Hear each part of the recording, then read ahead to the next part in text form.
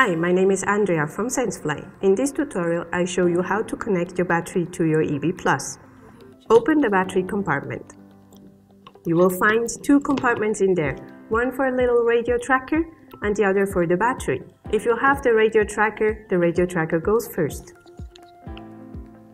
So now the battery can go on top.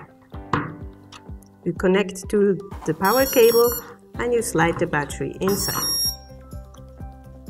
store the cables, close the battery compartment, and now your drone has power.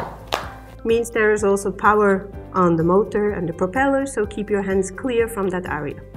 To disconnect your battery, you open the battery compartment, you pull on the little strap attached to the battery in order to remove the battery from its compartment. Then you grab here the connectors of the cables and you slightly pull them in order to detach the battery.